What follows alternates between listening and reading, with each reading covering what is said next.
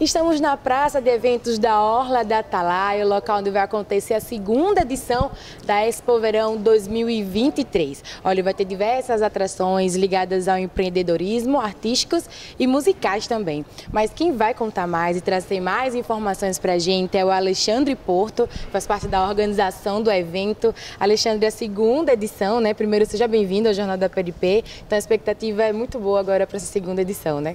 Olha, sem dúvida alguma, Janine, assim, a expectativa que a gente tem é muito positiva. Afinal de contas, depois de dois anos de pandemia, nós conseguimos é, desenvolver a Expo Verão e a primeira edição ocorreu em, em dezembro de 2021, logo depois daquele, daquele período todo bastante tumultuado. É, esse ano a gente optou em transferir o evento para janeiro porque tem mais a ver com o verão, tem mais a ver com esse movimento, essa energia, esse clima que a gente vive de verão. E deu certo fazer essa mudança para janeiro, ou seja, passam as festas de fim de ano, passam as festas de Natal, as confraternizações e recesso das empresas e, e o, o, caminho certo das pessoas no mês de janeiro, mês de férias, é a Orla de Atalaia. Nada melhor do que ter um produto como esse Expo Verão para oferecer todos os serviços, todos os produtos que vão estar aqui à disposição, não somente da sociedade sergipana, mas daquele público do interior que também vem para a capital e principalmente também o próprio turista.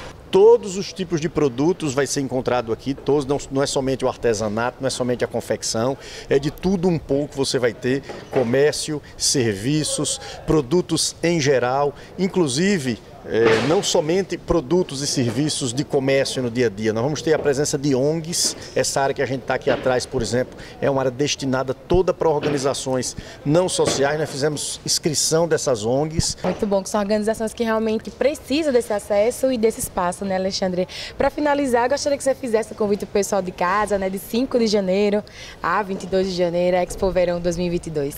É, é um momento oportuno, né? Mês de janeiro, mês de férias, você em casa sem ter muito o que fazer, o sol na televisão, está na hora de vir um pouquinho para a Praça de Eventos da Orla, participar desse grande evento.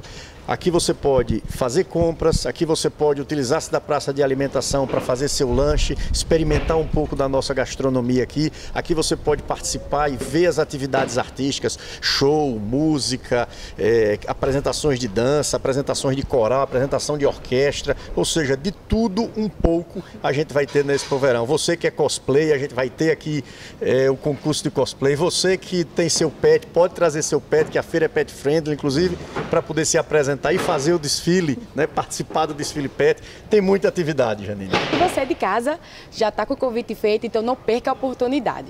Janine Braz para o Jornal da PRP.